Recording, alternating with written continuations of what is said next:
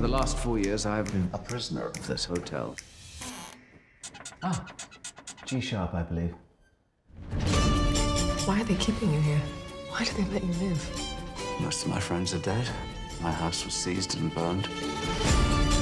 You must never leave. If you do, I'll be waiting. They can take away everything. but they can't take away who you are.